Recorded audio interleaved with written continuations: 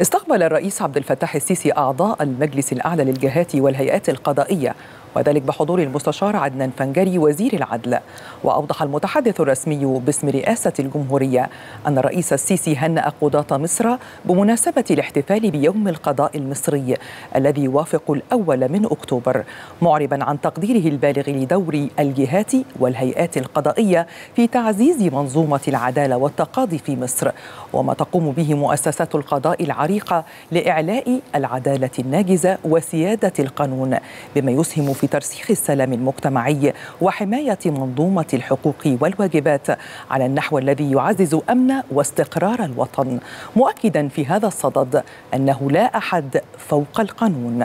كما أكد الرئيس السيسي خلال اللقاء التزام الدولة الراسخ باستقلال القضاء بوصفه ركيزة دستورية أساسية مشددا على ضرورة مواصلة الجهود المقدرة لتطوير منظومة القضاء وتيسير الخدمات المقدمة للمواطنين لا سيما من خلال التوسع في استخدام التكنولوجيا الحديثة فضلا عن الاستمرار في بناء وتعزيز القدرات والكفاءات الشخصية والمهنية لأعضاء المنظومة القضائية المصرية.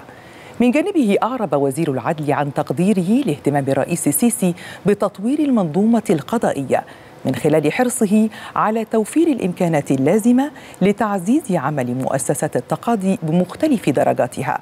وكذا من خلال العمل على تعزيز استقلال القضاء وقدرته على تأدية رسالته السامية.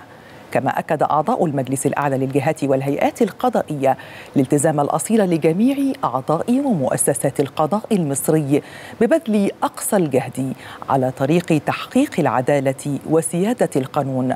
وفقا للدستور والقانون معربين عن تقديرهم للرئيس السيسي لحرصه الدائم على صون مكانة القضاء.